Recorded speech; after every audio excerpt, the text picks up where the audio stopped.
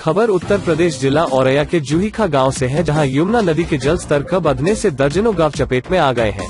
जल स्तर इतना बढ़ गया कि गाँव के लोग पलायन करने को मजबूर हो गए और गाँव के किनारे झोपड़ पट्टी में रहने को मजबूर हैं। आपको बता दें तस्वीरों में आप साफ़ देख सकते हैं पानी लोगों के घरों में इतना भर गया है कि घरों का सामान घरों में ही पड़ा रह गया और लोग अपनी जान बचाकर गाँव के बाहर निकल गए।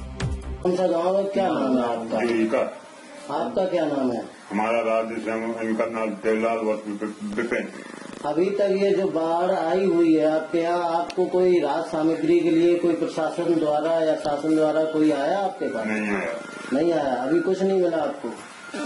हमारे हमारे प्रधान ने ज़रूर दिया खाना बना के। बात बना के प्रधान जी ने खिलाया है। और कितना क्या नुकसान है आपके इस मकान में? क्या बहुत नुकसान है।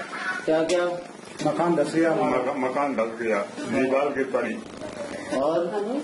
और पूरा हो गया जम गया।